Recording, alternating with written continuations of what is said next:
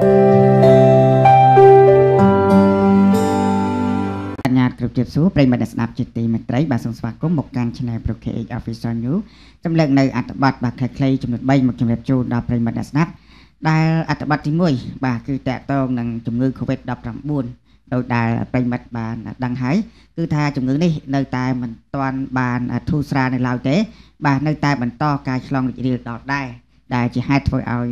ប្រជាជនទូទាំងពិភពលោកមានការព្រួយបារម្ភជាខ្លាំងផងដែរហើយឥឡូវនេះលេចលឺដំណឹងថាមាន COVID ប្រភេទថ្មីមួយទៀតនឹងឆ្លងខ្លាំងជាង បាទប្រភេទ COVID ចាស់ហ្នឹងទៀតឥឡូវនេះឆ្លងដល់ទៅ7ប្រទេសហើយបាទពិតជាមានការព្រួយបារម្ភមែនតើបាទទីទៀតយើងមកតាមដានលម្អិតមើលថាតើវីរុសប្រភេទថ្មីនេះឆ្លងដល់ប្រទេសណាខ្លះហើយអត្ថបទទី2បាទគឺតកតងនឹងលោកអុកញ៉ាឌុងឆាយ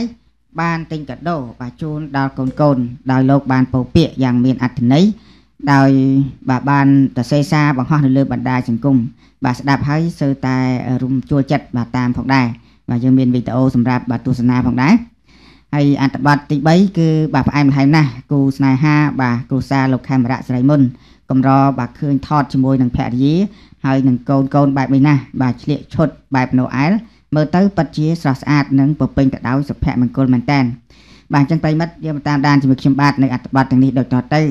កាត់មកត្រឹមថ្ងៃបុណ្យណូអែលនេះ COVID-19 បានបំលែងខ្លួនថ្មីរាលដាលឆ្លងដល់ប្រទេស7ហើយវីរុស COVID-19 បានបំលែងខ្លួនថ្មីកំពុងរីករាលដាលឆ្លងពាសពេញភាគខាងត្បូងចក្រភពអង់គ្លេសដែលបង្កឲ្យមានការព្រួយបារម្ភនិងជាការភ័យខ្លាចមួយដល់បណ្ដាប្រទេសដទៃទៀត តាមការបញ្ជាក់ពីលោកនាយករដ្ឋមន្ត្រីប្រទេសអង់គ្លេស Boris Johnson បានឲ្យដឹងថាវីរុសបំលែងខ្លួនថ្មីនេះមានសភាពឆ្លងរហ័សលើសពីវីរុសមុនរហូតដល់70%ឯណោះដែលជាហេតុធ្វើឲ្យប្រទេសមួយនេះមិនអាចគ្រប់គ្រងស្ថានភាពបានឡើយក្រោយផ្ទុះការរកឃើញនៃវីរុសបំលែងខ្លួនថ្មីឆ្លងខ្លាំងជាងវីរុសលើកមុននៅប្រទេសអង់គ្លេសនោះបណ្ដាប្រទេសជាច្រើនចេញសេចក្តីប្រកាសជាបន្ទាន់លើការបិទរាល់ការធ្វើដំណើរទាំងឡាយមកពីប្រទេសអង់គ្លេសចូលមកប្រទេសរបស់ខ្លួន ទោះបីជាមានការពៀយ៉ាងតឹងរឹងក៏ពិតមែនប៉ុន្តែវីរុសថ្មីមួយនេះនៅតែរកឃើញនៅក្នុងបណ្ដាប្រទេសមួយចំនួនដដែលរួមមានប្រទេសអៀក្លង់ដាណឺម៉ាកហូឡង់បែកសិកអ៊ីតាលីអូស្ត្រាលីនិងប្រទេសអាល្លឺម៉ង់ជាដើមការរកឃើញនេះគឺតាមរយៈអ្នកធ្វើដំណើរត្រឡប់ពីចក្រភពអង់គ្លេសដែលចូលក្នុងប្រទេសរបស់ខ្លួនមុនថ្ងៃបិទច្រកចិញ្ចូលបាទប្រិមិត្តនេះគឺតកតងនឹងបញ្ហា COVID-19 ដែលឥឡូវនេះលេចលើដំណឹងថាមានប្រភេទថ្មីទៀតបាទអេចេះតែមានហ្មង COVID ចេះអាប់ដេតបាទអញ្ចឹងទេយើងមានតែការប្រុងប្រយ័ត្នទាំងអស់គ្នាជិះវៀងការទៅប្រមូលផ្ដុំគ្នា បាទទៅណាទៅណីបាទពាក់ម៉ាស់ឲ្យបានត្រឹមត្រូវលាងដៃនិងអាល់កុលឲ្យបានស្អាតនិងញឹកញាប់ហើយបើមិនចាំបាច់ទេបាទសម្រាប់នៅផ្ទះទៅបាទអរគុណណាស់ប្រិមិត្តសូមបញ្ចប់នៅអត្ថបទហ្នឹងហើយយើងមកតាមដាននៅអត្ថបទមួយទៀតមើលឲ្យរំភើបចិត្តតាព្រោះតែនឹកកូនកូនពេកលោកអុកញ៉ាដុងឆាយបានទិញកាដូយ៉ាងច្រើន ឲ្យហើយថែមទាំងពោពាក្យមួយឃ្លាបែបនេះថាសូមរំលឹកឡើងវិញបន្តិចផងដែរថាកាលពីថ្ងៃទី13ខែធ្នូឆ្នាំ2020ទៅកន្លងផុតទៅថ្មីថ្មីនេះមហាជនមានការភ្ញាក់ផ្អើលជាខ្លាំងសឹងតែមិនគួរឲ្យជឿនិងនឹកស្មានមិនដល់ក្រោយភរិយាអុកញ៉ាឌុងឆាយបានប្រកាសនៅក្នុងគណនី Facebook របស់ខ្លួនក្តែងក្តែងថារូបគាត់និងអុកញ៉ាឌុងឆាយបានព្រមព្រៀងឡើងលះគ្នាហើយ លោកជំទាវដេតម៉ាលីណាបានបញ្ជាក់យ៉ាងច្បាស់ចំចំថាសូមពូមីងបងប្អូនទាំងអស់គ្នាជួយទទួលដឹងឮចាប់ពីថ្ងៃនេះតទៅនៃខ្ញុំនិងឌុងឆាយបានព្រមព្រៀងឡើងលះគ្នារួចហើយអញ្ចឹងចាប់ពីពេលនេះតទៅអ្វីដែលពាក់ព័ន្ធនឹងដួងឆាយហើយនឹងក្រុមគ្រួសារគាត់គឺពុំពាក់ព័ន្ធនឹងនាងខ្ញុំតទៅទៀតទេសូមអរគុណថ្ងៃទី13ខែធ្នូឆ្នាំ2020ដេតម៉ាលីណា ដោយមិនតតបអ្វីឡើយលោកអុកញ៉ាឌុនឆាយបានត្រឹមតែបង្ហោះសារខ្លីប៉ុណ្ណោះកាលពីថ្ងៃទី17ខែធ្នូឆ្នាំ2020ចំថ្ងៃខួបកំណើតរបស់លោកដោយបានប្រាប់ថារីករាយថ្ងៃខួបកំណើតរបស់ខ្ញុំពូមីងបងប្អូនមានពាក្យជូនពរខ្ញុំបាទទេសូមអរគុណពូមីងបងប្អូនទាំងអស់គ្នាចំពោះការស្រឡាញ់រាប់អានកន្លងមកណា Happy birthday to me ពេលវេលានឹងបកស្រាយអ្វីៗគ្រប់យ៉ាងភាពអំណត់អត់ធ្មត់ស្ងប់ស្ងាត់គឺល្អបំផុត លើមកដល់ថ្ងៃទី25ខែធ្នូឆ្នាំ2020ម្សិលមិញនេះចំថ្ងៃបុណ្យណូអែលគេឃើញលោកអុកញ៉ាដួងឆាយបានទិញកាដូយ៉ាងច្រើន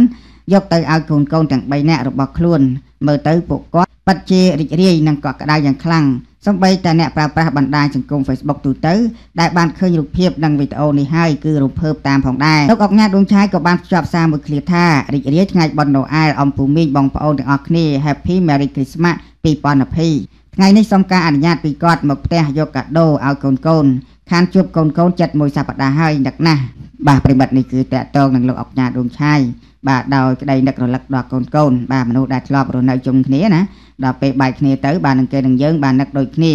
ហើយក៏មានបងប្អូនប្រិមិត្តបាទបានឃើញទស្សនាវីដេអូនឹងហើយក៏រំជួលចិត្តបាទរំភើបអារម្មណ៍បាទចង់ឲ្យលោកអុកញ៉ាហើយនិងលោកជំទាវបាទត្រូវរើគ្នា ហើយប៉ុន្តែទោះយ៉ាងណានេះជាការសម្រេចចិត្តរបស់លោកកុកញ៉ាហើយនិងលោកជំទាវហើយយើងមានតែសូមជូនពរឲ្យអ្នកទាំងពីរបាទជួបគ្នាក៏ដូចជាសុខសប្បាយនៅក្នុងក្រុមសារអាយុយឺនយូរផងដែរបាទប្រិមិត្តសូមបញ្ចប់អត្ថបទហ្នឹងហើយយើងមកតាមដាននៅអត្ថបទមួយទៀតបាទពិតជាកម្រឃើញណាស់លោកខេមរៈស្រីមុនថតជុំភរិយានិងកូនកូនទាំង3បែបនេះណាដាក់ប៉ុន្មានប៉ុសសិតតែស្អាតស្អាតដល់ថ្នាក់ fan fan ចូលទៅខមមិនព្រាតថា